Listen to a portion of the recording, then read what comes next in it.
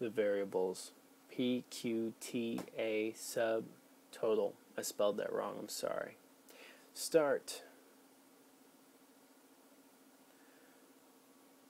Time, discount, price, quantity. This is an input. Process.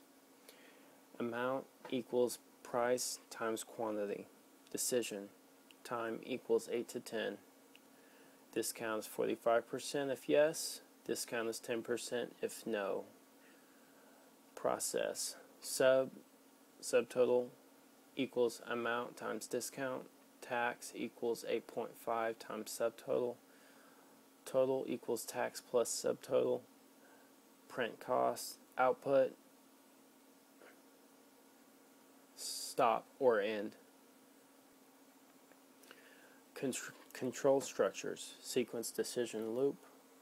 We have a nested decision also and a sequential decision.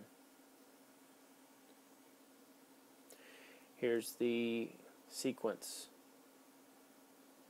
Here's the nest, uh, yeah, nested decision, sequential decision. Two types of loops. We'll get into loops later. Rules of the flowchart. The shapes. The shapes. Each each shape stands for something.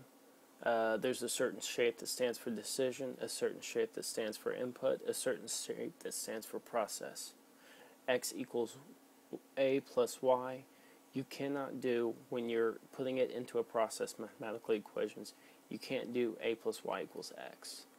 I'm not sure why, that's just the way their standard is. Always something on the yes side with the decision. You have to have something on the yes side no matter what. If you're putting something on the no side, something always has to be on the yes side. You can just have something on the yes side without the no side, but you cannot have anything on the no side without the yes side. Order of operations. When you're handing in the flowchart to a programmer, he needs to be able to read the flowchart. There is a certain the flowchart has to be universal. Everybody reads a flowchart the same way. So you have to create the flowchart and make it correct so that your programmer can read your flowchart. That's it. Have fun, YouTube.